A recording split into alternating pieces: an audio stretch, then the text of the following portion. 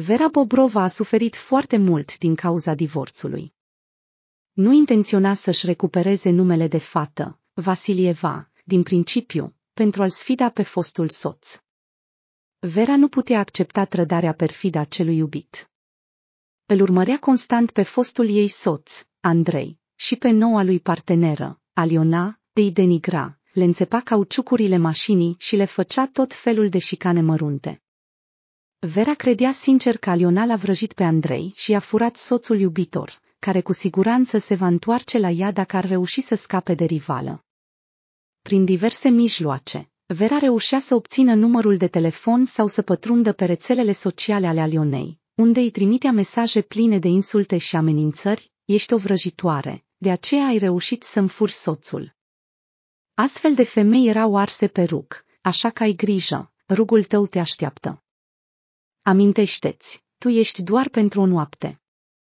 Pleacă de lângă soțul meu de bună voie, altfel va fi mai rău pentru tine. La început, Aliona a încercat să explice Verei că nu e vinovată de plecarea soțului ei, dar a înțeles rapid că era imposibil. Atunci, noua iubită a lui Andrei a început să o blocheze pe Vera peste tot unde era tehnic posibil și să o adauge pe lista neagră. Dar Vera găsea mereu o cale de a ocoli blocajele și continua să facă răutăți prin conturi false și profiluri ale prietenilor comunii, cărora le câștiga încrederea și îi implora să o ajute să-și recupereze soțul. Mulți au sprijinit-o inițial și au ajutat-o de bunăvoie. Dar după câteva scandaluri zgomotoase, rândurile potențialilor ajutoare au început să se subțieze rapid, iar oamenii preferau să stea departe de epicentrul evenimentelor unde Vera își făcea apariția. Chiar și cele mai bune prietene s-au întors de la ea, nevrând să fie implicate într-un alt scandal. Iulia, te rog, ajută-mă pentru ultima dată, implora Vera pe prietena din copilărie. Îți jur pe ce vrei tu că nu te voi mai ruga niciodată nimic, doar ajută-mă să-mi recuperez soțul. Vera, ești în toate mințile? Exclama prietena. Tot orașul știe că ești doamna nedecvată 2024. E periculos să stai chiar și în aceeași cameră cu tine, pentru că după aceea oamenii încep să se ferească de tine, ca de ciumă. Eu, proastă fiind, te-am ajutat deja. M-am murdărit până peste cap și încă nu pot să mă curăț. Și ai tupeul să mai ceri ceva după asta? Uită-mi numărul. Te-am pus deja pe lista neagră, iar acum mă sun de pe alte numere. Nu înțelegi că nu vreau să mai am de-a face cu tine. Cu aceste cuvinte, fosta prietenă a închis telefonul și a adăugat încă un număr în lista neagră. Vera se simțea neînțeleasă și jignită de toată lumea. Problema ei închipuită s-a hiperbolizat atât de mult în mintea ei încât se vedea victima unei nedreptăți karmice universale și a unei conspirații mondiale. Din disperare și deznădejde, Vera a ajuns în cele din urmă la limita răbdării și a început să manifeste agresivitate, atacând oamenii. Într-o dimineață, intrând într-o cafenea din oraș, s-a ciocnit nas în nas cu dușmanul ei de moarte, Aliona, care stătea lângă teșghia, așteptându-și cafeaua. Rivala nu a observat sosirea ei și vorbea veselă cu o altă femeie. Vera a văzut în aceasta o ocazie rară oferită de soartă pentru a se răzbuna. Desigur, Vera nu intenționa să rateze o astfel de oportunitate și, mulțumindu-i cerului pentru darul generos, s-a aruncat cu un strigăt războinic asupra distrugătoarei de familie. Târfă! Mi-ai furat soțul și acum stai aici să mă vorbești de rău cu prietenele tale. A strigat Vera, împinând-o pe interlocutoare în spate.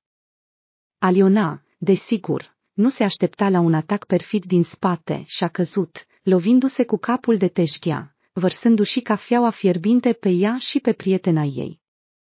S-au auzit țipetele celor arse și urletele harpiei dezlănțuite, care continua să-și tortureze victima căzută. Târfă! Îți voi arăta eu cum să furi bărbații altora.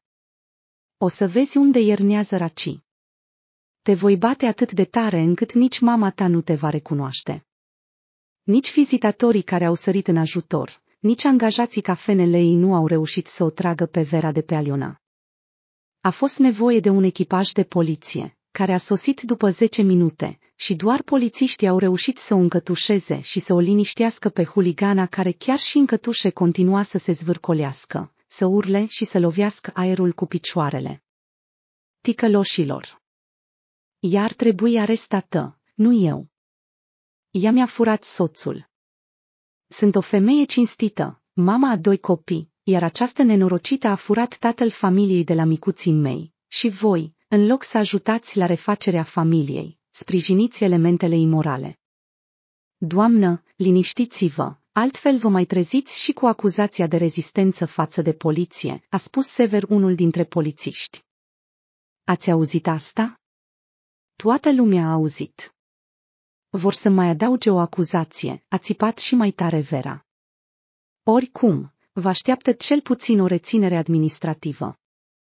Dacă victima va avea răni, veți fi închisă în arest preventiv până la pronunțarea sentinței, iar de acolo drumul duce direct în colonia de femei. Să-ți fie rușine. Te auzi? Ești prost de-a binelea? A urlat mai tare potențiala condamnată. Oh, încă o acuzație, insultarea unui ofițer de poliție în exercițiul funcțiunii. Nu vă menajați deloc, ați decis să vă măriți singură pediapsa, a râs polițistul. După aceste cuvinte, Vera a căzut brusc în tăcere, ca și cum ar fi fost lovită în cap, și s-a uitat furioasă la polițist. Abia atunci a realizat că, având o mulțime de martori, nu va putea să mușamalizeze această situație și a decis să nu-și agraveze și mai mult situația deja dificilă. Cadoul soartei, la care se bucurase atât de mult la început, s-a dovedit a fi de fapt un serviciu plătit, pentru care karma i-a prezentat o notă de plată cosmică. Pentru vătămarea corporală de gravitate medie adusă victimei, Vera a fost pe deplin meritat condamnată la doi ani și jumătate de închisoare cu executare în colonia de regim general. Aliona, care se lovise cu fața de teșchia, și-a rupt nasul. De asemenea, avea o fractură a osului maxilar și arsuri de diferite grade, numeroase vânătăi, hematoame și zgârieturi. Cealaltă vizitatoare arsă a depus și ea o plângere la poliție, iar câteva rapoarte de infracțiuni administrative au fost întocmite. Toate acestea nu au jucat în favoarea Verei, și ea a ajuns în final într-un penitenciar alături de ucigași și traficanți de droguri. Viața în colonie nu era deloc ușoară, așa că, în loc să se corecteze, Vera a devenit și mai înverșunată împotriva lumii întregi, blestemând pe toți cei implicați în încarcerarea ei. Credeți că ați scăpat de mine? Șoptea furioasă noaptea, stând pe patul său. Nu vă faceți griji, o să vă pregătesc un astfel de surpriză încât nu veți putea să o suportați. Răzbunarea este un fel de mâncare care se servește rece. Colegele de detenție au înțeles repede că Vera nu era în toate mințile, așa că au decis să nu o deranjeze inutil. Astfel, Vera și-a petrecut întreaga perioadă de detenție ca o lupoaică singuratică, privindu-i pe toți cu ură și murmurând constant ceva. Noi deținuți erau avertizați imediat să se ferească de tinebuna lor locală. Aceasta este Vera, mai bine să nu te apropii de ea. Ea tot timpul murmură ceva, nimeni nu știe dacă vorbește cu ea însă și sau cu cineva. Fetele jură că o aud invocând diavol noaptea și vorbind cu ei. Chiar așa poate fi. Se mirau noi veniți. Tu crezi în Dumnezeu? Obișnuia să întrebe o deținută veche, Baba Mania, cunoscută drept văduva neagră. Cred, răspundeau încrezătorii majoritatea noilor veniți. Atunci crezi și în diavol, pentru că unul nu poate exista fără celălalt. Lumea noastră se bazează pe eterna luptă dintre lumină și întuneric. Iar Vera asta crede în diavol mai mult decât în Dumnezeu și se închină doar lui, de aceea îi se adresează direct și își cheamă slujitorii să-i vină în ajutor aici. Astfel de legende, create de condamnate, se țeseau în jurul verei, dar ea nu se opunea prea mult. Mai bine să se teamă de ea și să nu o deranjeze, decât invers. Așa că, după doi ani și jumătate de detenție, Vera nu s-a calmat deloc și a jurat să facă tot ce poate pentru a le distruge viața fostului soț și noii sale partenere cunoscătorii și rudele s-au împărțit în două tabere inegale. Unii o considerau o victimă și o susțineau în această vendetă, dar doar cu vorba, în timp ce majoritatea își făceau cruce la auzul numelui ei. De copiii Verei s-a ocupat mama ei, Olga Vladimirovna. Vera însă nu avea timp pentru ei, fiind obsedată de gândul că trebuie să se răzbune. Copiii creșteau practic fără părinți, deoarece tatăl își construia intens o nouă viață cu Aliona, iar mama visa doar să le transforme viața într-un iad pe pământ.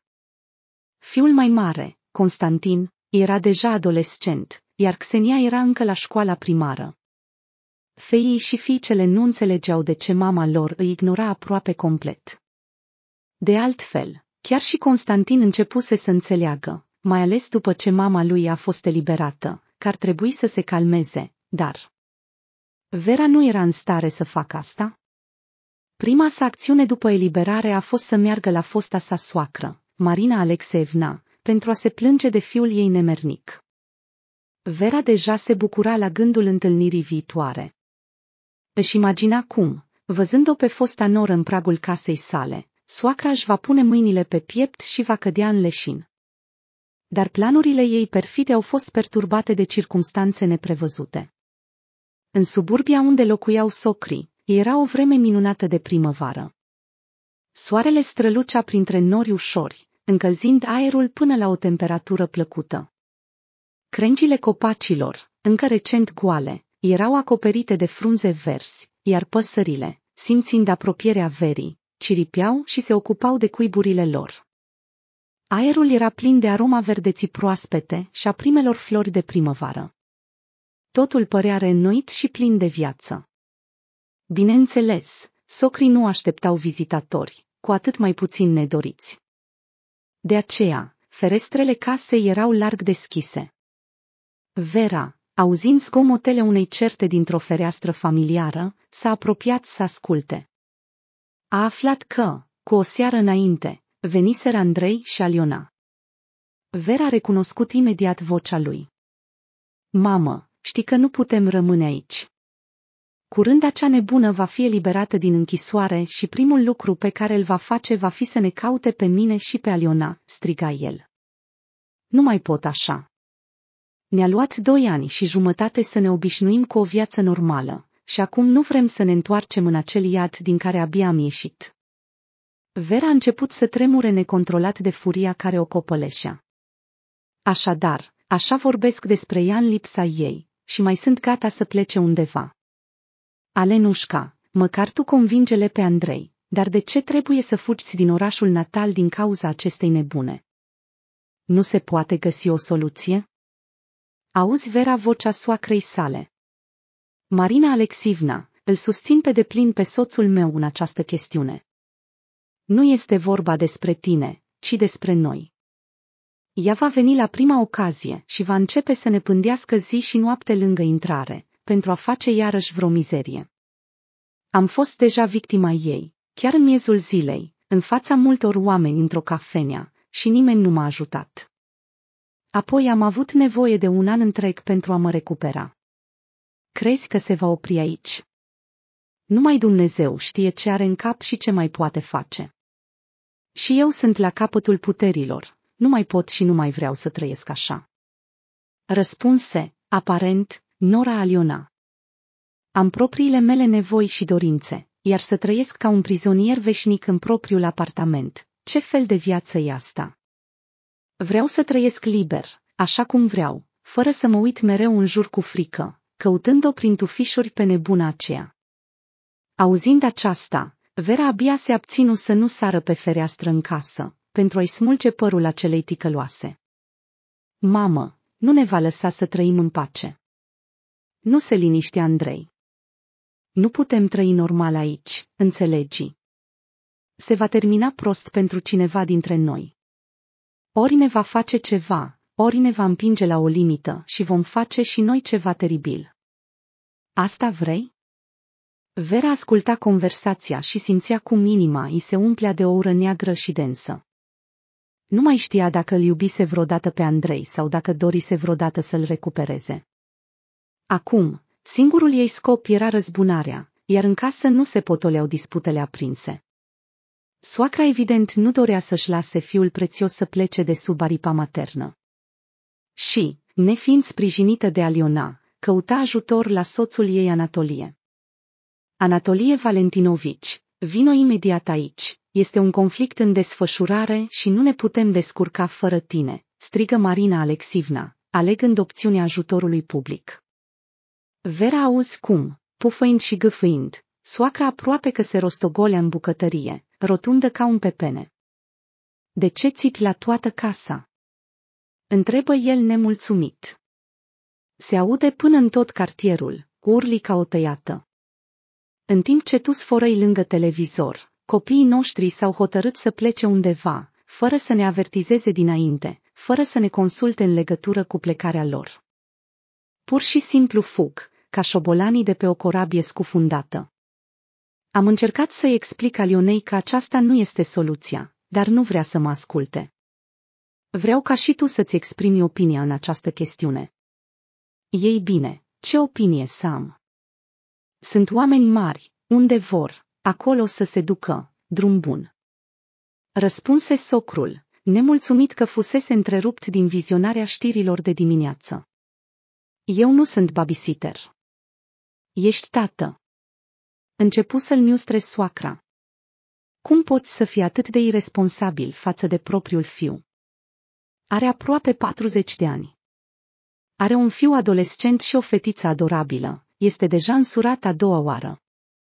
Asta înseamnă că în chestiuni de familie are experiență de cel puțin două ori mai mare decât mine. Are de două ori mai mulți copii și soții. Ah, bătrân libidinos. Țipă soacra, regretând că l-a implicat pe acest vechi agitator în conversația lor serioasă. Uneori tăcerea este de aur? Acesta este cazul tău. Mai bine ai tăcea tu. Răspunse Anei Anatolie. Fiul nostru a crescut de mult. Are propria lui familie, a doua, iar tu nu vrei să-l lași de la poalele fustei tale. El și Aliona au nevoie de mai multă libertate, nu numai de la Vera, ci și de la tine. Ești în toate borcanele și dai sfaturi tuturor, de parcă lumea s-ar prăbuși dacă te-ai opri. Ah, așa stau lucrurile. Se supără soacra. Bine. Mai ai 50 ani de viață în picioare, și apoi ce? Andrei este singurul nostru fiu. Cine ne va ajuta la bătrânețe? Nu m-am gândit la asta. Recunosc cu sincer socrul. Exact, nu te-ai gândit. Și mai spui că de ce dau sfaturi. Nimeni nu se gândește la viitor. Toți trăiesc doar pentru ziua de azi, iar mai târziu fie ce-o fi. I-am spus fiului, nu te însura cu Vera, uită-te bine la ea. Poate are multe schelete în dulap. Și aveam dreptate. Dulapul ei este plin de schelete. Așa că, fiule, gândește-te bine. Poți să tai, dar să coși la loc este greu. Mamă, totul este deja decis. Biletele sunt cumpărate, apartamentul vândut. Ne mutăm la Amsterdam. Aliona are acolo prieteni care ne-au invitat. Să ne descurcăm. Și, la urma urmei, nu plecăm pe altă planetă. Vă vom vizita când putem. Sau poate voi veniți la noi. Vera nu mai putea asculta această poveste nesfârșită despre evadarea din Shawshank, trebuia să proceseze informația și să se gândească bine la ce să facă în continuare. La început, această veste a înfuriat-o și a întristat-o. Nu-i mai pot ajunge. Se gândea ea. Deci acolo pleacă cu iubita lui? În Olanda. Perechea noastră dulce și-a făcut planuri. Cred că se vor ascunde de mine în străinătate. Dar apoi a venit o idee, avem copii minori în comun. Este normal ca fostul soț să plece fără consimțământul meu? Cum va plăti el pensia alimentară din străinătate? Încântată de noua idee, Vera a fugit acasă la mama ei. Olga Vladimirovna a fost foarte surprinsă să-și vadă fica la ușă, roșie și gâfâind. Vera nu a putut să-și țină exclamația de uimire. Nu-ți recunoști propria fică? Răspunse iritată Vera. Lasă-mă să trec, nu sta în cale. Unde e Constantin? Xenia? Răspunsul a fost tăcerea mormântală. Vera și-a împins mama și, nemai găsind pe nimeni în apartament, a întrebat-o din nou. Unde sunt copiii mei, te întreb, sau vorbesc cu pereții? Unde este Xenia? Unde este Constantin? Sunt la tatăl lor. Răspunse Olga Vladimirovna, eliberându-se din strânsoarea fiicei ei. La ce tată? Au mai mulți tați? La tatăl lor biologic. Ai înnebunit, bătrână? De ce i-ai dat lui Andrei? Cine ți-a permis să faci asta? Țipă fiica, cu fața contorsionată de furie. Dacă nu i-aș fi dat de bună voie, ar fi venit executorii judecătorești și m-aș fi făcut de râs. M-am săturat de rușinea condamnării tale. Nu mai suport rușinea. De ce ar trebui executorii judecătorești să ia copii? Întrebă Vera, simțind că aici era miezul problemei. În timp ce tu erai la închisoare, Andrei a depus o cerere în instanță pentru a te lipsi de drepturile părintești. Acum are custodie exclusivă asupra lor, iar locuința lor trebuie să fie cu el. Veri se făcu părul măciucă. Ultima șansă îi scăpase din mâini. Să spună că era furioasă ar fi fost prea puțin. Vera fugea către apartamentul fostului soț, hotărâtă să pună lucrurile la punct. S-a urcat într-un taxi până la celălalt capăt al orașului, a urcat în lift până la etajul 10, a bătut în ușă, dar i-a deschis un bărbat necunoscut. Pe cine căutați, doamnă? Întrebă el supărat. Atunci Vera își aminti că apartamentul fusese vândut. Scuzați-mă. Băice uia și plecă repede. Pe drum, rememora tot ce auzise sub fereastra soacrei. Cum să afle unde sunt acum? Când pleacă și de la ce aeroport? Vera era amețită, nu pentru că poate nu-și va mai vedea niciodată copiii, ci pentru că era încă obsedată de răzbunare. A început frenetic să sune la soacra ei, la prieteni comuni, să afle ceva, dar de cele mai multe ori nimeni nu răspundea sau linia era ocupată. Cei puțini care au răspuns nu știau nimic, fiind și ei în necunoștință de cauză. Vera se plimba panicată prin oraș, neștiind ce să facă, și uită complet că trebuia să se prezinte la autorități, fiind recent eliberată. După câteva zile, a fost vizitată de polițiștii care supravegheau foștii deținuți. Brobova Vera Ivanovna locuiește aici. Da, eu sunt. Răspunse Vera, privind confuză de la un ofițer de poliție la altul. Ați încălcat regimul impus, conform căruia trebuia să vă prezentați în termen de trei zile lucrătoare de la eliberare la secția de poliție de la domiciliul permanent pentru înregistrare. Oh, îmi pare rău, am uitat complet. Începu să se scuze Vera. Aceasta este o contravenție, așa că trebuie să vă arestăm administrativ pentru 15 zile. Pregătiți-vă. Vom întocmi un proces verbal și apoi vă vom duce imediat la locul de executare a pedepsei. După experiența trecută, Vera știa că nu are rost să se certe cu poliția, așa că și-a luat pașaportul, câteva articole de igienă personală, lenjerie de schimb și a ieșit din apartament, unde o aștepta poliția. Așa a fost arestată Vera pentru 15 zile. În timp ce era din nou închisă, se simțea complet disperată. Acum era sigură că va rata plecarea fostului soț cu iubita lui și totul le va merge bine. Deci, nici măcar ea nu ar fi știut exact ce spera să obțină. Astfel, dintr-o întâmplare nefericită, Vera a pierdut nu numai pe Andrei și Aliona, ci și legătura cu copiii ei, fără să încerce măcar să o refacă după eliberare. Prizoniera Brobova privea prin mica fereastră cu gratii la soarele apus, care colora în roz clădirea murdară de vis-a-vis. Fereastra dădea spre curtea centrului de detenție. Pe o mică platformă asfaltată, un porumbel cenușu se plimba, aplecându-și capul în jos în căutare de hrană. Chiar și un porumbel știe ce caută, spre deosebire de mine, murmură Vera, privind pasărea care explora cu atenție locul. Porumbelul se îndepărta tot mai mult până când dispăru în amurgul violet. Anii au trecut. Vera și-a revenit treptat, a revenit la o viață normală și chiar a început să viziteze voluntar un psiholog. După un timp, în urma reabilitării, l-a întâlnit pe Igor, un bărbat bun, capabil să o asigure pe deplin, și a început să trăiască liniștit.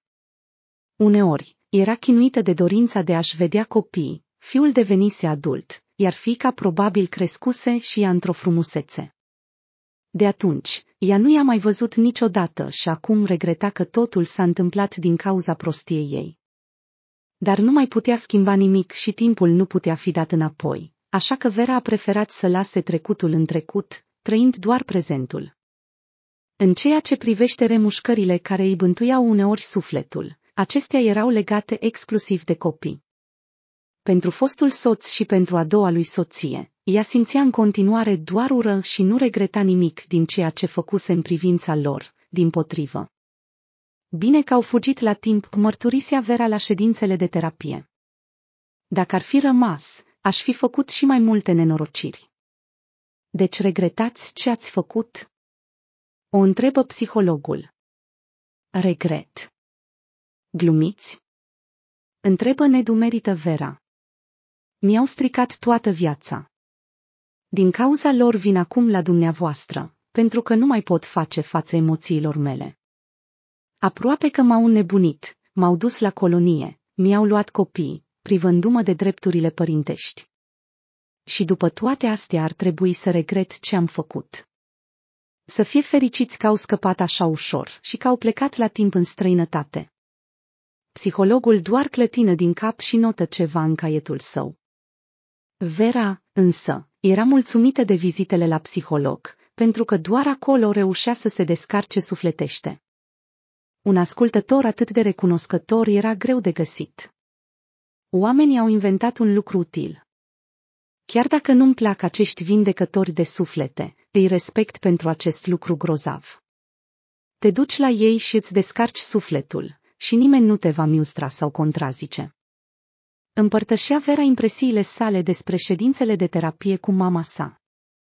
Dar poți merge și la preot să te spovedești, să te pocăiești, să-ți ușurezi sufletul, îi amintea mama de taina spovedaniei, accesibilă tuturor enoriașilor și pe deasupra complet gratuită.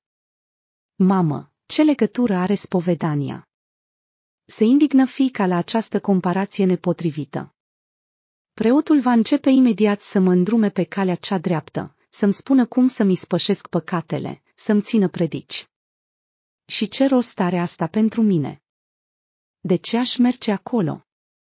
Eu vreau doar să mă descarc, să fiu ascultat în tăcere și, dacă e nevoie, să primesc un sfat profesional despre ce să fac.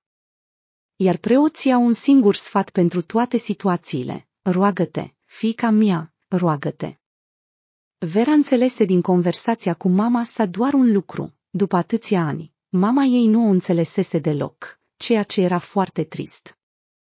Poate că, dacă Olga Vladimirovna ar fi știut să asculte și să audă oamenii, Vera nu ar fi trebuit să meargă atât de des la psiholog. Acum, de fiecare dată când avea crize psihoemoționale, mergea imediat la psihoterapeut. Când Vera a solicitat din nou ajutor psihologic profesional, simțind că nervii ei erau pe punctul de a ceda, s-a gândit că îi se va prescrie un curs lung de psihoterapie. Dar psihologul i-a recomandat să plece undeva să se relaxeze și să se distreze. Și cel mai bine ar fi să faceți asta cât mai departe de locul unde locuiți, pentru a schimba complet clima, mediul și pentru a vă scufunda într-o altă atmosferă socială, adăugă ea. Ajuns acasă, Vera a împărtășit aceste gânduri cu Igor. Știi ce mi-a recomandat psihologul? Nu am nicio idee, răspunse el sincer. Să schimb mediul și să plec undeva departe de aici să mă relaxez. Sunt complet de acord și susțin această recomandare. Ce zici să plecăm în Republica Dominicană? Ape turcoase ale Mării Caraibilor, plaje cu nisip alb, bungalouri private chiar pe malul mării. Cum ți se pare ideea mea? Niciodată n-am fost acolo, dar mereu am visat să ajung. Când plecăm? Se entuziasmă Vera. dar chiar mâine. Am o prietenă care deține o agenție de turism. Va organiza totul în cel mai bun mod. Oh, dar trebuie să mă pregătesc, să mă aranjez pentru vacanța pe plajă, se agită Vera. Nu, mâine e prea repede. Măcar în câteva zile, ca să pot merge la salon, să-mi iau un costum de baie nou, o pelerină. Cum spui tu, dragă? Organizăm această vacanță la recomandarea psihologului tău. Și ce fel de vacanță ar fi dacă ar începe cu nemulțumirile tale că te-am dus în costum de baie vechi și cu un cuib pe cap? Râse Igor. Vera dădu din mână în glumă și începu să-și răsfoiască garderoba, pentru a vedea ce mai lipsește pentru călătoria în străinătate. Două zile trecură ca câteva ore. Vera alergă ca un titirez între magazine și salon. Inițial, voia să cumpere doar un costum de baie și o pelerină, dar apoi și-a dat seama că nu-i place deloc garderoba veche și că trebuie să o schimbe complet. În final, s-a întors acasă cu o mulțime de cumpărături, dintre care lipsea doar o barcă gonflabilă în caz că iahtul de plimbare s-ar scufunda. Cât de mult te-ai pregătit pentru plecare? Un an? Întrebă Igor îngrijorat, văzând grămada de pachete pe care Vera le adusese acasă. Înțelegi, nu știu cum e vremea acolo, ce climă e, unde vom merge și ce va fi potrivit de îmbrăcat, așa că am luat în considerare toate variantele și, ca să nu dau greș în fața străinilor, a trebuit să cumpăr totul nou. Plus cosmetice, inclusiv pentru protecție solară. Așa că, pornind de la lucruri mici, am realizat că nu aveam absolut nimic de îmbrăcat și, de aceea, a rezultat această grămadă de lucruri. Igor zâmb și o strânse în brațe pe Vera. Poate să cumpere tot magazinul, doar să fie fericită. Gândi el, îmbrățișând-o pe Vera. Republica Dominicană îi întâmpină cu soare arzător și îmbrățișările calde ale mării. Era un adevărat paradis, cu plaje de nisip fin, ca făina, și peisaje de coastă minunate, promise de zona turistică. Locurile retrase și luxul stațiunilor de primă clasă impresionau pe oricine. Doamne, cât e de frumos aici! Exclamă Vera admirativ când ieși din taxiul care îi adusese de la aeroportul din Punta Cana la hotel. Ea privi în jur cu uimire și îi plăcea totul, de la palmieri întâlniți la fiecare colț până la apele incredibil de limpezi și turcoase ale Mării Caraibilor. Igor, îți mulțumesc enorm că m-ai adus aici, șopti Vera și se apropie de partenerul ei. Scumpa mea, abia am ajuns și deja ești atât de emoționată. Sunt gata să-ți ofer întreaga lume, doar ca să fii la fel de fericită cum ești acum, ca un copil mic. Și Vera era cu adevărat fericită, poate pentru prima dată după mulți ani sau poate chiar în întreaga ei viață. În fiecare zi, se bucura de soarele cald, în otan mare și, seara, ieșea cu Igor pentru a se apropia de cultura locală. Zilele de vacanță treceau într-o liniște plină de bucurii. Într-una din zile, Vera, ca de obicei, plecă de vreme pe plajă, înainte ca căldura să devină insuportabilă. În drum spre șezlongul ei, observă păsări frumoase care zburau de pe o creangă pe alta a unui palmier și nu observă fata care venea în direcția ei, fiind cu ochii în ecranul smartphone-ului. În câteva secunde, se ciocniră. Oh, scuzați-mă, vă rog, spuse Vera instinctiv în rusă. Apoi, amintindu-și unde se află, adăugă Sori. Nimic grav, e vina mea, răspunse fata și se îndreptă spre șirul de bungalouri din depărtare. Vera intenționa să-și continue drumul spre șezlom, dar ceva în aspectul fetei o opri. Înfățișarea ei părea cunoscută. Unde am mai văzut-o? Se întrebă Vera, privind silueta care se îndepărta. Și, dintr-o dată, Vera simți ca și cum ar fi fost lovită de fulger. Aceea e fica mea. Bucuroasă, mama se grăbi să o ajungă din urmă. Ajungând-o, începu să o îmbrățișeze și să o sărute, spunând-ți, Doamne. Mulțumesc, Xenia. Cât de bucuroasă sunt să te văd, draga mea. Nu-mi vine să cred că ești tu. E un miracol. să te întâlnesc aici, după atâția ani. Dar fata, acum adultă, nu avea nevoie de toate aceste afecțiuni din partea unei femei care, de fapt, îi era străină. O respinse brusc și spuse doamnă, v-ați înșelat, apoi plecă liniștită mai departe, fără să se uite înapoi. Mama, dezorientată, rămase în picioare pe plaja pustie, simțindu-se umilită și devastată. Se simțea mizerabil, ca și cum cineva ar fi turnat o găleată de murdărie peste sufletul ei. Dar, după câteva minute, dezorientarea și supărarea se transformară din nou într-o dorință arzătoare de răzbunare. Vera simțea o dorință necontrolabilă de a se răzbuna pe fostul ei soț și pe amanta lui, mai mult ca niciodată. Acești căloși mi-au luat totul, inclusiv copii. Despre faptul că ea însă și contribuise mult la acest rezultat, Vera uitase complet. Vera tremura de convulsii nervoase, iar energia intensă îi provoca o agitație puternică. Văzuse în ce bungalou intrase Xenia și se îndreptă după ea. Intrând acolo, găsi întreaga familie fericită. Andrei și Aliona, iubindu-se în continuare la fel de plictisitor de tandru, jucând rolul de părinți grijului. Din exterior, familia lor părea perfectă, dar Vera știa ce se ascundea în spatele acestei aparențe de fericire. Această fațadă era construită pe suferințele, privațiunile și singurătatea ei. Au construit cuibul lor familial pe oasele mele și acum dansează de bucurie pe ele, gândia. Nenorocita. Strică Vera, furioasă, intrând în bungalou. Nu ți-a fost de ajuns că mi-ai luat soțul, dar ai atras și copiii mei. Acum nici nu mă recunosc. Ce le-ai făcut, vrăjitoare blestemată? Te voi da în vileac. Voi găsi o cale să te fac să plătești.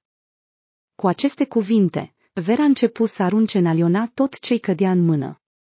Andrei, speriat de atacul brusc, încerca să-și protejeze soția, evitând în același timp obiectele aruncate. Vera, de unde ai apărut aici? Strigă el, reușind să evite un alt obiect aruncat. Ce-ți pasă, nenorocitule? spune mai bine cine ți-a dat dreptul să-mi răpești copiii. Mi-ați furat. Vera, calmează-te, încerca să o liniștească fostul soț. Când ai fost închisă, ai pierdut dreptul de a-i crește. Instanța a decis să am custodia exclusivă și i-am luat în mod legal. Am hotărârea judecătorească. Voi mi-ați băgat acolo, izbucni Vera în plâns isteric. Tu și amanta ta ați mituit poliția și mi-ați făcut să ajung după gratii. Nimeni nu te-a băgat acolo. Tu ești de vină. Ai bătut-o pe Aliona, ai făcut scandal în cafenea, ai vărsat cafea fierbinte pe clienți și ai opus rezistență poliției, insultându-i public. Pentru toate faptele tale rele, ai primit prea puțin. Ce mare lucru, câteva picături de cafea vărsate pe ea și câteva zgârieturi. E de zahăr? S-a topit imediat sau s-a rupt în două? Iar eu, din cauza nefericitei tale, am fost nevoită să fac aproape trei ani de pușcărie, mâncând mizerie, în timp ce voi vă desfătați cu delicatese. Da, tu ai opărit-o cu apă clocotită, i-ai rupt nasul și maxilarul i s-a fisurat de la lovitura în suportul metalic, are o mulțime de vânătăi, chematoame și zgârieturi. Toate acestea, în opinia ta, sunt fiacuri? S-a indignat Andrei. Vera voia să mai spună ceva, dar în acel moment au intrat în bungalou paznicii atrași de zgomot. Vera a fost imobilizată fără nicio discuție și dusă la secția locală de poliție, unde a fost plasată în celula de reținere până la sosirea unui traducător. Cum Vera înțelegea prost nu doar spaniola, ci și engleza, a trebuit să aștepte un traducător care vorbea rusă. Între timp, Igor a ajuns și el la secția de poliție pentru a depune o plângere despre dispariția partenerei sale. Bună ziua! Mă numesc Igor Litvinov. Sunt un turist rus. Am fost aici o săptămână împreună cu soția mea, dar astăzi ea a dispărut brusc, se încurca în cuvinte și conjugă Igor, încercând să explice esența problemei sale într-un amestec ciudat de engleză și spaniolă. Cum se numește prietena dumneavoastră? Și de cât timp a dispărut? Se numește Vera Ivanovna Litvinova. Dimineața a spus că va merge să facă plajă. Dar când am ieșit acolo la ora 10, ea nu mai era în locul obișnuit. Am parcurs întreaga plajă în lung și în lat, dar ea nu era acolo. Și nimeni nu știe unde este. Credeți-mă, ea nu ar fi plecat de bună voie fără să mă avertizeze. Simt că i s-a întâmplat ceva. Trebuie să mă ajutați să o găsesc. Vă rog. Trebuie să începem căutările imediat. Cu cât începem mai repede, cu atât mai bine. Am văzut un documentar în care se spunea că primele câteva ore după dispariție sunt foarte importante pentru căutări. Cu cât trece mai mult timp, cu atât șansele de a găsi persoana în viață scad. Domnule, nu trebuie să o căutăm, a răspuns polițistul. Cum adică nu trebuie să o căutăm? S-a indignat Igor. Refuzați să mă ajutați? Totul este din cauza sancțiunilor voastre nenorocite? Să le ia naiba. Domnule, sancțiunile nu au nicio legătură aici. Atunci care este motivul? Sunteți rusofob sau misogin? Sau nu căutați persoane decât dacă aveți motive întemeiate să credeți că au fost deja ucise? Domnule, calmați-vă și ascultați-mă cu atenție. Femeia pe care o căutați a fost reținută pentru tulburarea ordinii publice pe plajă, pe teritoriul hotelului. A fost depusă o plângere împotriva ei, paznicii au imobilizat-o și au adus-o aici. Ea a pătruns ilegal în bungaloul altor turiști și a provocat un scandal și o bătaie acolo. A aruncat lucruri în oameni, i-a insultat. Alți turiști au auzit zgomotul încăierării în bungalou și au chemat paza. Apoi, victimele au depus plângere. Așadar, femeia pe care o căutați nu a dispărut. Ea este aici, în celula de reținere, așteptând traducătorul și avocatul ei. Igor a simțit în acel moment că lumea sa s-a prăbușit ca un castel din cărți de joc și acum va fi înghițit de o avalanșă de cărți care cad neîncetat de sus. În Republica Dominicană, pediapsa pentru tulburarea ordinii publice este mult mai severă decât în Rusia și nu credea că va putea rezolva această problemă pe calea amiabilă, deoarece nu avea nicio legătură aici. Vă rog, spuneți-mi, i s-a adresat din nou polițistului. Cu cine anume s-a certat soția mea? Ea nu cunoaște pe nimeni aici în afară de mine și nu vorbește spaniola, iar engleza o stăpânește prost. Cum a putut să provoace un scandal în astfel de circumstanțe? Ea a intrat în bungaloul unei familii vorbitoare de rusă. Acolo se odihnea o familie cu doi copii. Victimele au menționat în declarația lor că o cunosc. Ea a fost cândva soția capului acestei familii. Și atunci Igor a înțeles tot ce s-a întâmplat. Desigur, știa despre povestea tristă a Verei, despre criza psihoemoțională prin care a trecut, despre detenția ei în închisoare. Toate acestea nu erau o noutate pentru el, dar nu putea înțelege cum a putut să distrugă fericirea lor din cauza dorinței ei bestiale de a se răzbuna cu orice preț. Igor s-a simțit cumplit de jignit. A făcut atât de multe pentru ea, iar ea încă nu putea să-și uite fostul soț, se pare. Acum era furios pe el însuși, pe soția sa, pe acest blestemat paradis caraibian, care s-a transformat pentru el într-un iad personal. Cum se face că după atâția ani nu a putut să lase în urmă această situație? A spus asta cu voce tare și a lovit cu pumnul în masă, iar apoi s-a încruntat de durere. După ce s-a gândit puțin, s-a întors la hotelul lor. În camera lui Igor a găsit documentele luate cu el pentru orice eventualitate. Printre ele erau și fișele de vizită ale Verei la psihoterapeut. Cu aceste documente s-a întors la secția de poliție. Ascultați! Soția mea nu este în toate mințile. Am adus documente care confirmă că anual urmează un curs de psihoterapie. În acest an, medicul i-a sugerat, în loc de tratament, să meargă undeva departe de casă pentru a se relaxa. Eu i-am propus să venim aici. Nu știam că aici va fi fostul ei soț cu familia. Este o problemă sensibilă pentru ea, înțelegeți? Un declanșator psihologic care o provoacă să se comporte inadecvat. Trebuie să fie tratată și promit că, dacă ne eliberați, o voi trimite imediat la tratament. Vă rog, înțelegeți-ne, a implorat Igor. Vera nu poate merge la închisoare, acolo își va pierde complet mințile. Trebuie să mă consult cu superiorii mei. Nu pot lua singur astfel de decizii. Dați-mi documentele.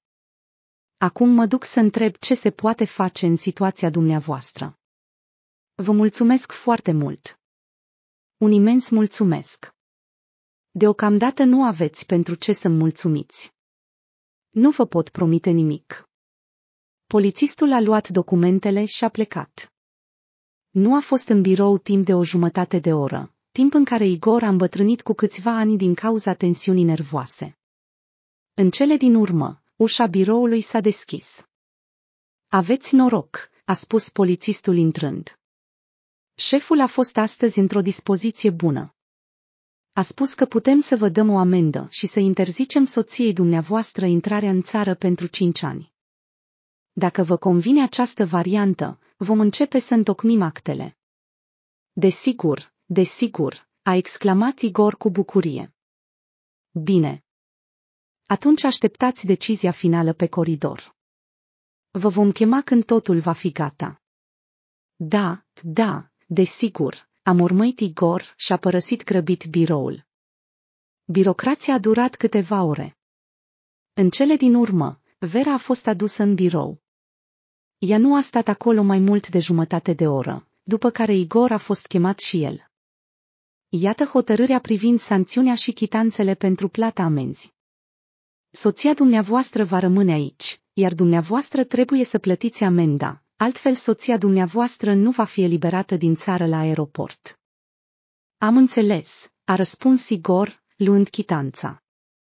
Vera, mă întorc imediat. O să plătesc amenda și te iau imediat după aceea.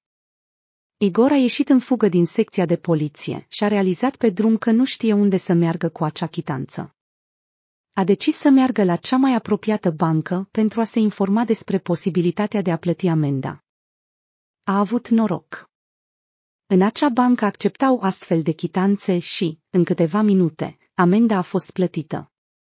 S-a întors în grabă, strângând în mâini prețioasa chitanță cu dovada plății. Am plătit totul, a spus Igor cu sufletul la gură când a ajuns în biroul unde aștepta Vera. Polițistul a luat chitanța, a făcut o copie și a înapoiat originalul. Această chitanță, împreună cu hotărârile, le veți arăta la punctul de control al aeroportului. Luați-vă soția și, de preferință, nu vă mai întoarceți niciodată în țara noastră. Nimeni aici nu are nevoie de probleme suplimentare. Data viitoare nu vom mai fi atât de îngăduitori. Familia Litvinov a mulțumit sincer polițistului și, ajunși la hotel, și-au strâns repede lucrurile și au părăsit țara. Pe drumul de întoarcere, Igor păstra tăcerea mormântală, care îi dădea fiori verei. Ea înțelegea că este foarte supărat pe ea și nici nu a încercat să-i vorbească. Doar când au ajuns acasă, Igor a rupt tăcerea. Am promis poliției din Republica Dominicană că vei urma un curs intensiv de psihoterapie. Dar ai spus asta doar ca să mă elibereze, nu-i așa? Nu. Insist asupra necesității tratamentului tău, altfel ne vom divorța imediat, a declarat categoric soțul. Dar eu merg la psihoterapeut în fiecare an, a încercat să riposteze Vera. Nu este suficient. Ai nevoie de un tratament de calitate, internat. Internat? A întrebat ea, abia acum înțelegând despre ce fel de tratament este vorba. Da, consultațiile și recomandările obișnuite nu mai sunt de ajuns. Clar nu ești în toate mințile. Nu te poți controla. Ataci oameni, arunci lucruri în ei. Și observă că nu este pentru prima dată. Mi-ai povestit cum îți urmăreai fostul soț și noua lui soție și cum ai ajuns la închisoare pentru că ai atacat acea femeie într-o cafenea. Da, dar. Fără dar, a tăiat Igor ferm.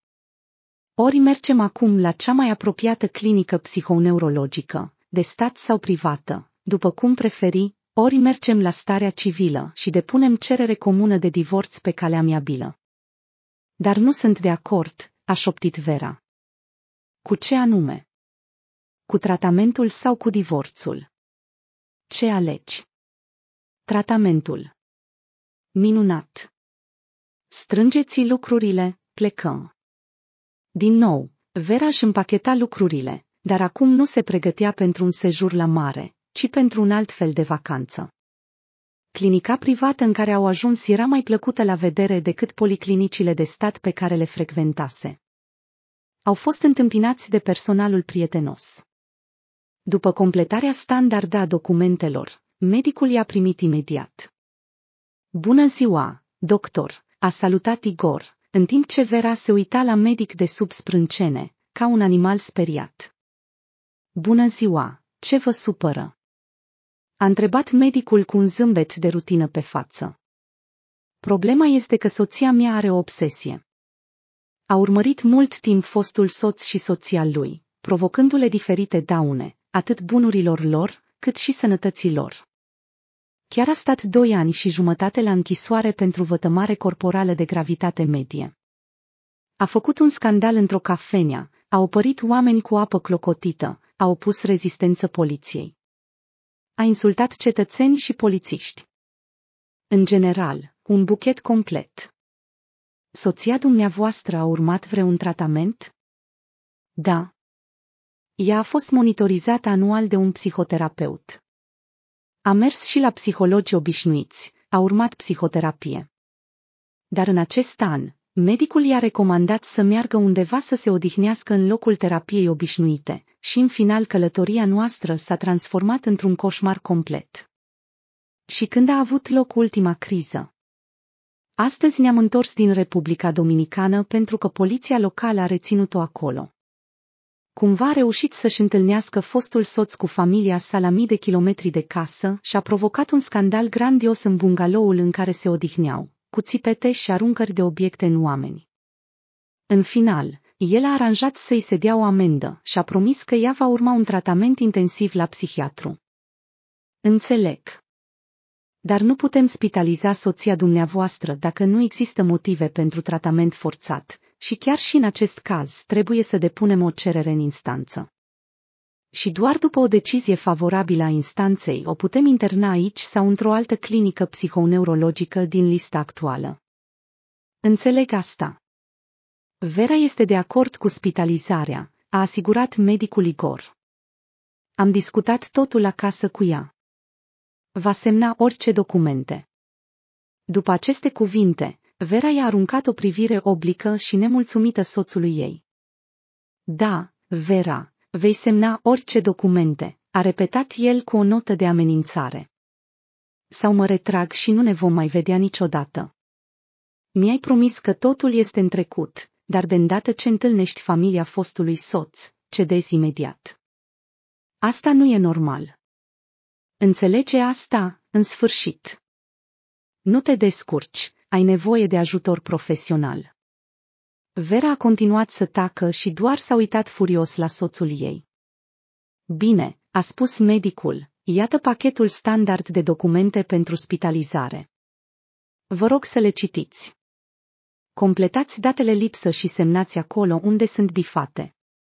Pixul este alături. Vera a completat fără tragere de inimă datele necesare și a semnat documentele.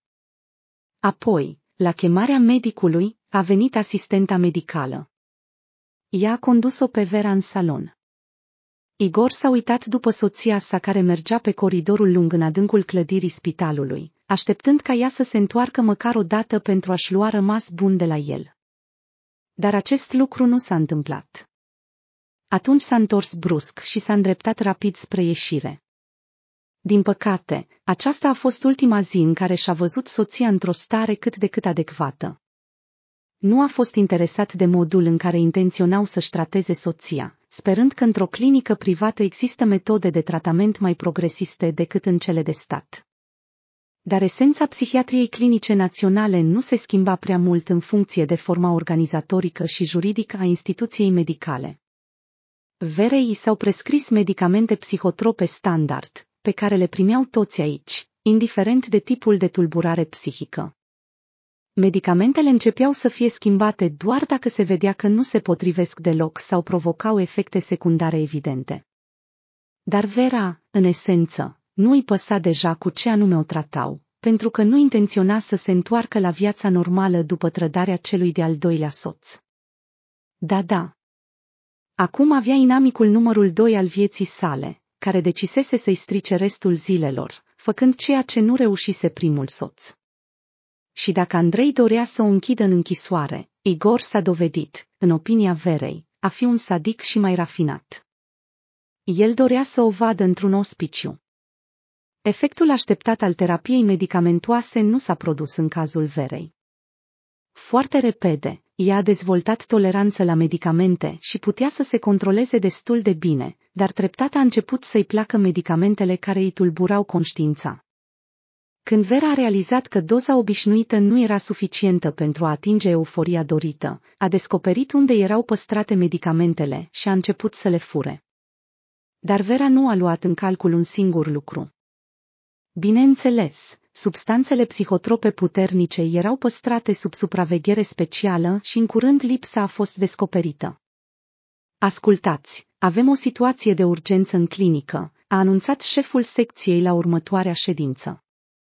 Din dulapul cu medicamente au dispărut substanțe psihotrope și în cantitate suficientă pentru a afirma că este vorba despre un furt.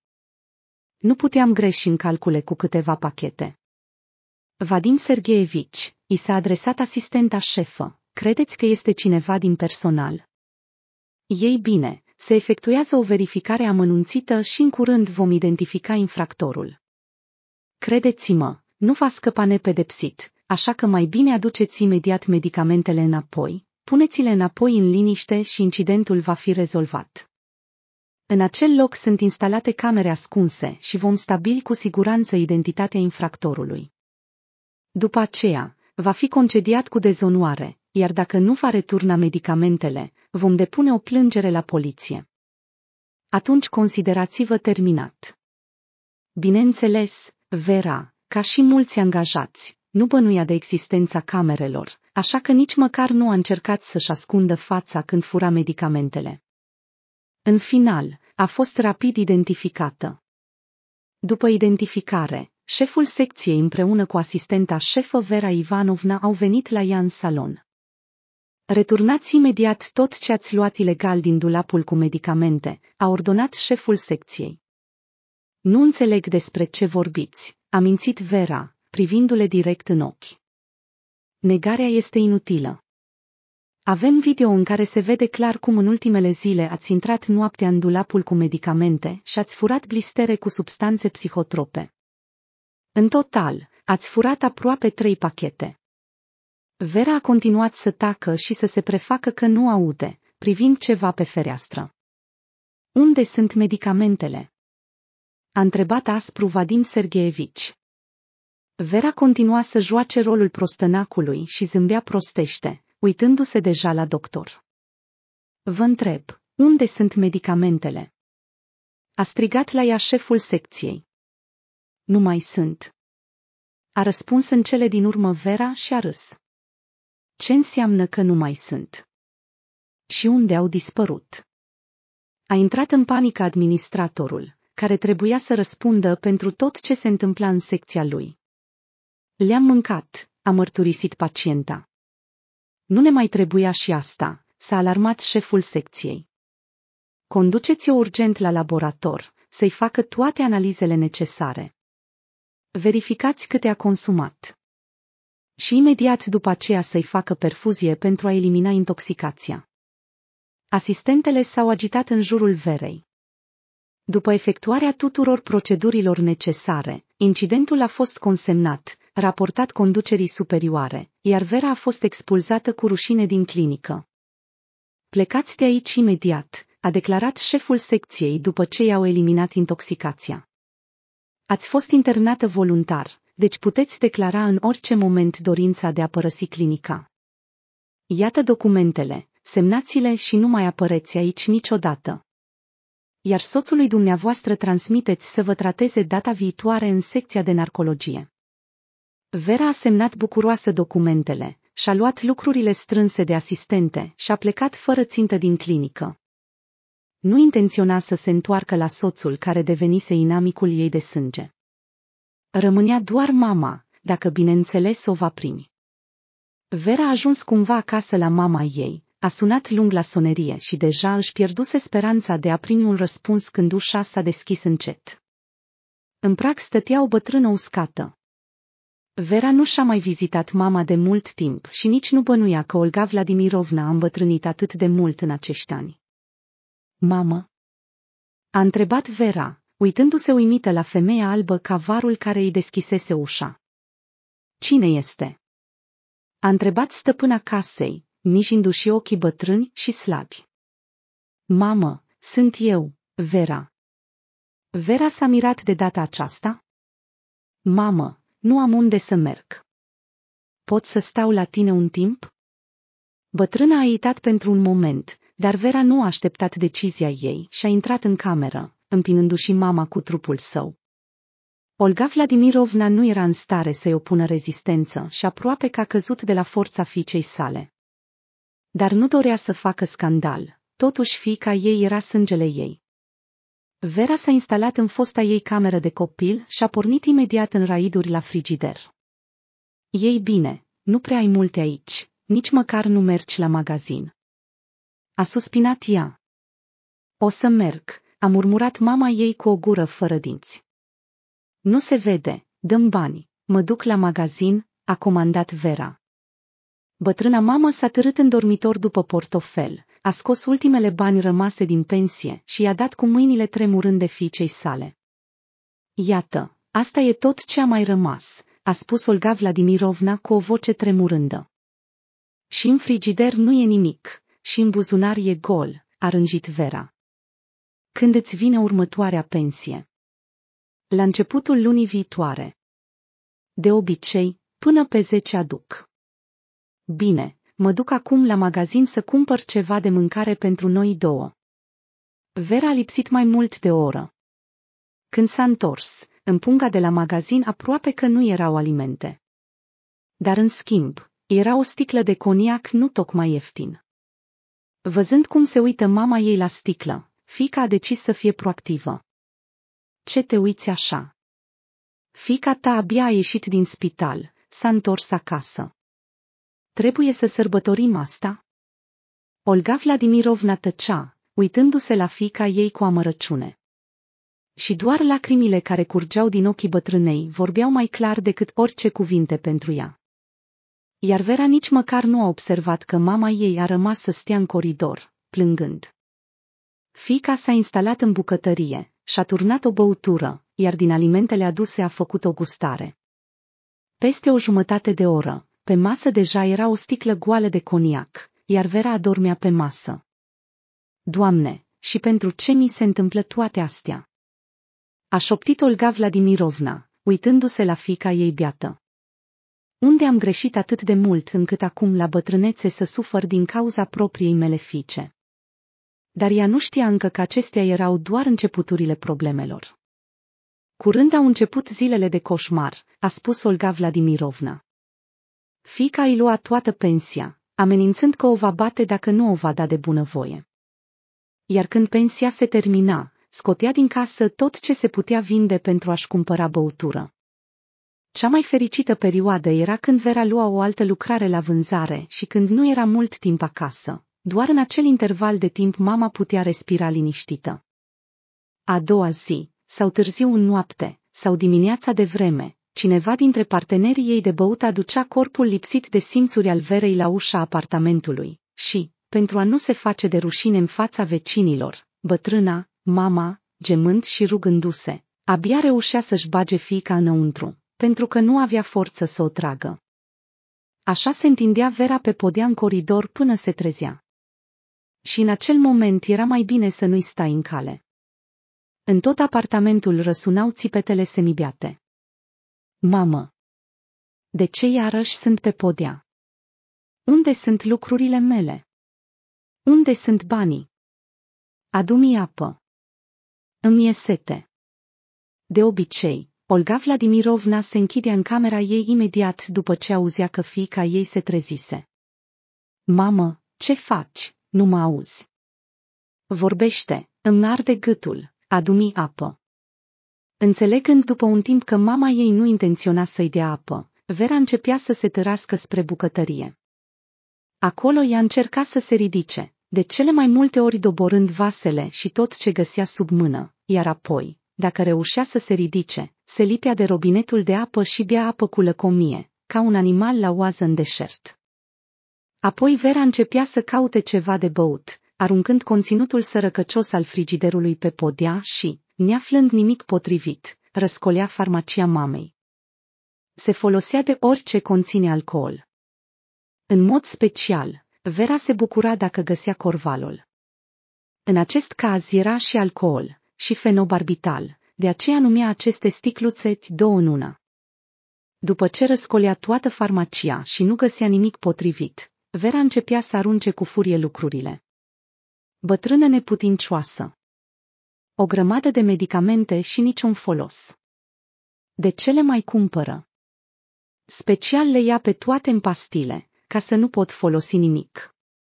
Olga Vladimirovna avea dizabilitate. Medicamentele pentru boala ei le primea gratuit pe bază de rețetă, dar Vera nu știa acest lucru. Uita ea și că lua toți banii de la mama ei imediat ce primea pensia. Și cu ce se hrănea Olga Vladimirovna și cum trăia, numai Dumnezeu știa.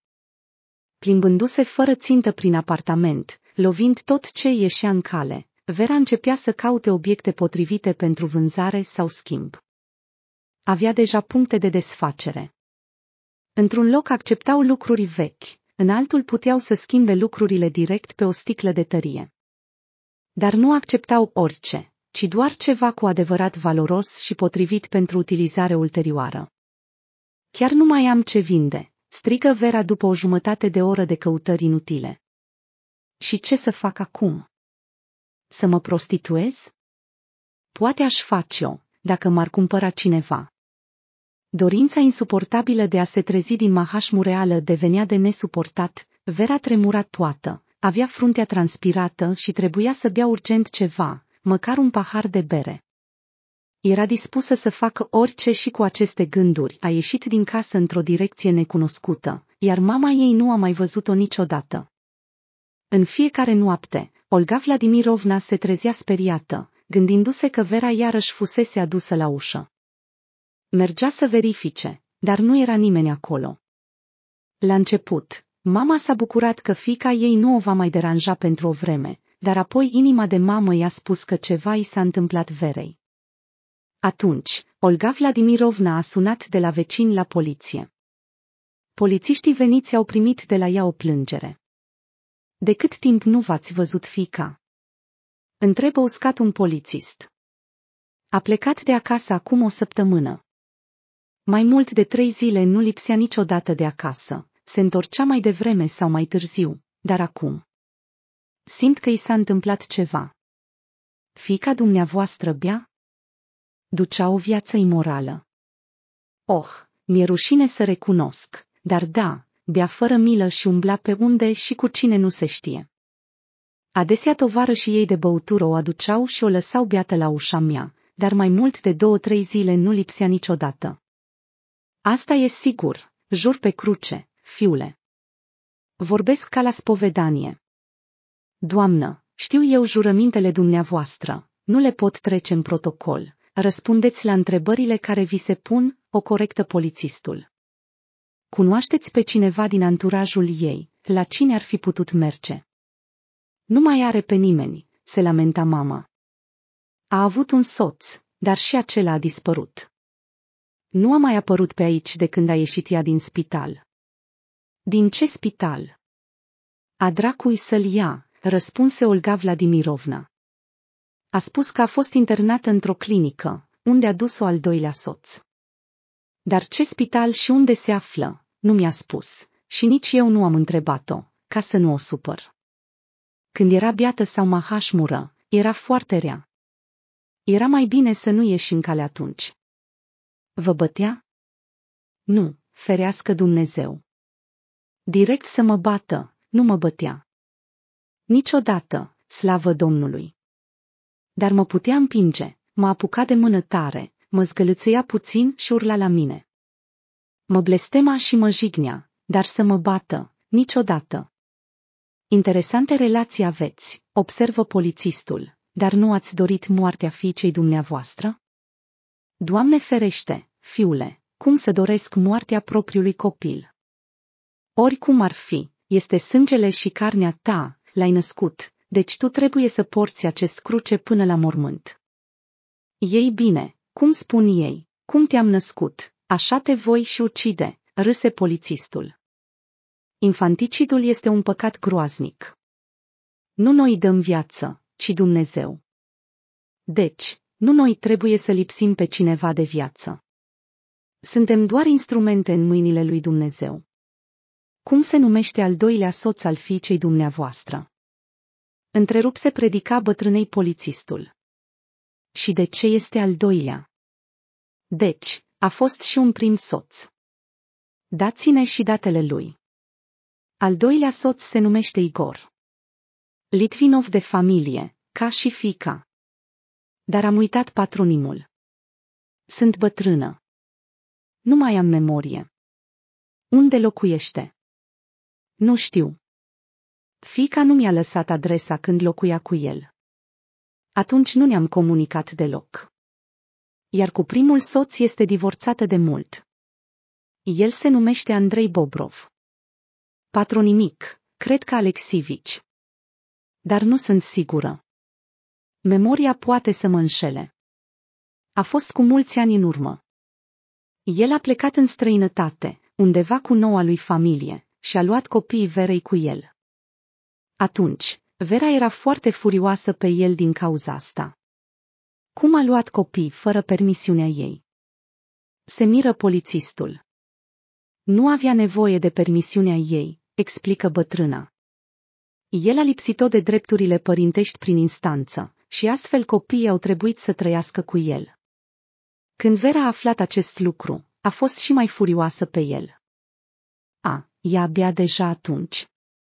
De ce a fost lipsită de drepturile părintești? Nu, atunci nu bea, dar era în închisoare la vremea aceea, iar în timp ce îi spășea pediapsa, fostul soț a obținut custodia copiilor. Oho! Fluieră polițistul, tot mai surprins de aventurile Verei. A fost și condamnată. Dar pentru ce a fost închisă? A bătut-o pe amanta lui atât de tare că, vai de mine, abia au reușit să o tragă pe Vera de pe Aliona atunci. Pentru asta a fost condamnată la doi ani și jumătate. Vera nu a putut să se împace mult timp după fuga soțului cu copii în străinătate. A făcut furie aici. Apoi s-a liniștit, s-a împăcat, probabil. A început să meargă la psihologi. L-a întâlnit pe Igor, s-a recăsătorit. Ce a fost mai departe, nu știu, pentru că după căsătorie nu ne-am mai comunicat. Și cum a ajuns din nou la dumneavoastră? Nu mi-a spus nimic, doar a spus că a ieșit din spital, unde a dus-o soțul ei, și atât. Ei bine, ați povestit o istorie interesantă, spuse polițistul. Un scenariu excelent pentru un detectiv. Polițistul a consemnat tot ce a considerat necesar, i-a cerut mamei să semneze și a plecat să adune materialul. Avea multe piste pe baza datelor furnizate, iar în primul rând l-a găsit pe al doilea soț al dispărutei. Igor Litvinov s-a dovedit a fi un om de afaceri, proprietar de spălători auto și ateliere de reparație auto. Când polițiștii au venit la biroul lui, antreprenorul a crezut mai întâi că are legătură cu afacerea lui, dar când au început să-l întrebe despre Vera, s-a liniștit imediat că nu era vorba despre poliția economică, oftă ușurat Litvinov. O cunoașteți pe Vera Ivanovna Litvinova? Întreba polițistul. Da, este fosta mea soție. De ce fostă? Mama ei ne-a spus că sunteți căsătoriți. Ei bine, probabil că mama are informații vechi. Am divorțat. Vera era sub supraveghere psihiatrică, dar am aflat despre boala ei gravă abia când eram căsătoriți. Ea a ascuns acest fapt de mine. Când a ajuns în clinică, am depus o cerere în instanță și am divorțat. Când ați văzut-o ultima dată? Întrebă polițistul. Când am ajutat-o să se interneze în clinică. A fost acum mai bine de un an. De atunci nu am mai văzut-o. Nu a venit la proces și am divorțat în lipsă din cauza imposibilității de a menține relațiile maritale din cauza absenței îndelungate a relațiilor de fapt. Dar ce s-a întâmplat, de fapt? De ce vă interesați de Vera? A făcut din nou ceva? A atacat pe cineva? Nu m-aș mira dacă ar fi așa. Trebuie internată forțat. A dispărut. Mama ei a depus astăzi o plângere de dispariție și acum strângem materialul și intervievăm pe toți cei care ar putea o cunoaște și vedea, explică polițistul. A dispărut? Ridică sprâncenele Igor. Și de când? Din spusele mamei, de o săptămână. Nu. Nu am văzut-o de mai bine de un an. Nu a venit la mine nici în ultima săptămână, nici în anul trecut. Deci nu vă pot ajuta cu nimic, explică Igor. Am înțeles. Atunci semnați-vă doar sub declarațiile dumneavoastră, ceru polițistul.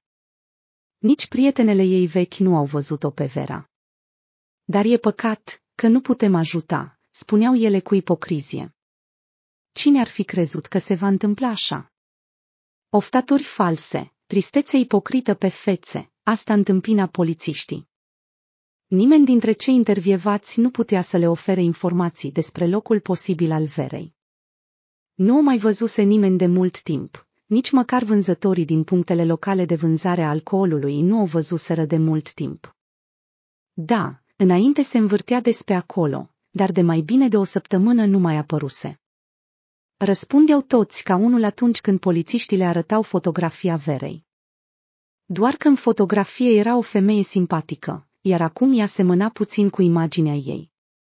S-a degradat și s-a prăbușit, toată umflată, mereu cu vânătăi sub ochi, părul răvășit, murdar, hainele murdare și pe alocuri rupte. Chiar a și trăit pe străzi. De multe ori trebuia să o scoatem afară când localul se închidea, iar ea se culca pe cea mai apropiată bancă și dormea acolo. Mama dispărută îi spunea că cineva o aducea beată la ușă. Nu știți cine ar putea fi. Era singură pe aici sau poate în compania tovarășilor de băutură. Da, publicul local, toți sunt prieteni și frați. Devine imediat tovarăș de băutură și prieten de nedespărțit imediat ce văd că cineva are ce să bea. Desigur, se agăța de toți. Mulți o tratau din milă. De aceea se învârtea pe aici. Dar cu cine avea relații intime sau de altă natură, nu vă pot spune.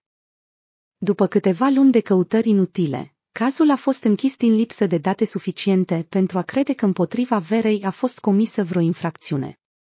Iar un adult, neprivat de capacitatea juridică, este liber să se deplaseze prin țară și să plece de acasă pentru orice perioadă de timp.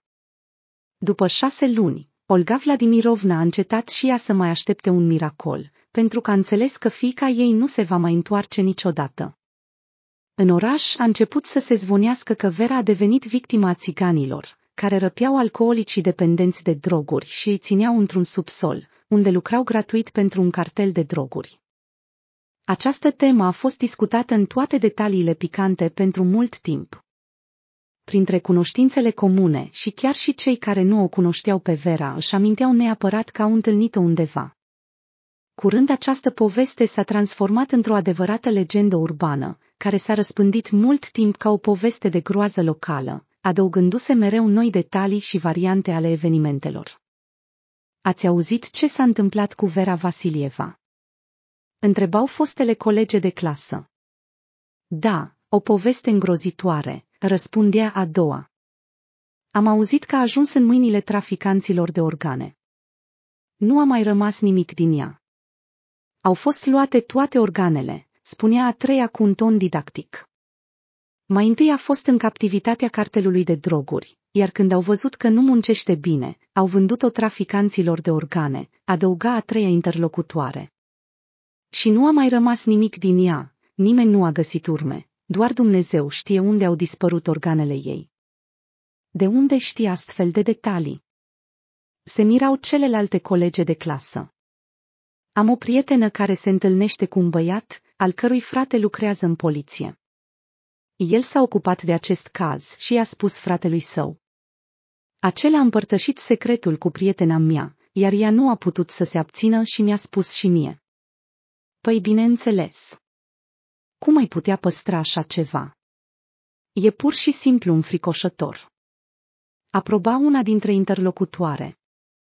Dar nimeni nu știe cum a ajuns în cartelul de droguri, întrebă, tăcută până acum, a patra dintre cei prezenți. Oh, asta e o poveste tristă separată. Nu ai auzit. Se miră cea care începuse această discuție. În general, Vera a avut un soț cu mult timp în urmă. Apoi el a părăsit-o pentru alta, iar Vera a nebunit din cauza asta. A început să facă lucruri nebunești, a atacat chiar noua soție a fostului ei, a bătut-o în fața unei mulțimi de oameni, a stropit-o cu apă clocotită, un adevărat dezastru. Și ce legătură are asta cu cartelul de droguri? Nu înțelese colega care pusese întrebarea. Doamne, cea mai directă, Vera, ca să-și aline durerea, a început să ia droguri. Apoi a datorat dialerilor mulți bani, așa că au răpit-o ca să-și plătească datoria în producția lor ilegală de droguri. Acum înțelegi de unde vine totul. Fata a dat din cap în tăcere. Fostele prietene dădeau din cap cu tristețe falsă, discutând între ele despre Vera. Acesta este sfârșitul celor care nu pot face față furiei lor. De fapt, nimănui nu-i păsa cu adevărat ce s-a întâmplat cu ea. Și nimeni nu a aflat unde și cum a sfârșit viața Verei și sub ce gard putrezesc rămășițele ei. Doar bătrâna mamă mergea la biserică până în ultimele zile ale vieții ei, să se roage pentru fica păcătoasă și să aprindă o lumânare pentru odihna sufletului ei. Olga Vladimirovna nu a avut nicio îndoială că fica ei nu mai este în viață, pentru că inima de mamă nu poate fi înșelată. Oriunde ar fi copilul tău, ea va simți întotdeauna dacă i s-a întâmplat ceva. Trezindu-se într-o noapte, cu multe luni în urmă, în transpirație rece, mama a înțeles, s-a întâmplat ceva groaznic. Inima îi se strângea dureros în piept, iar în suflet simțea un gol neînțeles. Atunci Olga Vladimirovna și-a amintit de fica ei năvalnică și a început să plângă. Pentru că a înțeles de ce simțea nevoia să urle ca un lup, uitându-se la luna strălucind sinistru pe fereastră. Dormi liniștită, Vera, murmură bătrâna, ștergându-și lacrimile amare. Odihnește-te în pace. Se pare că acesta ți-a fost destinul. Ce mai poate fi făcut acum? Astfel s-a încheiat istoria nefericită a unei femei pe nume Vera Vasilieva, care nu a reușit să-și stăpânească furia, și nimeni nu a aflat unde zace trupul ei neînsăflețit.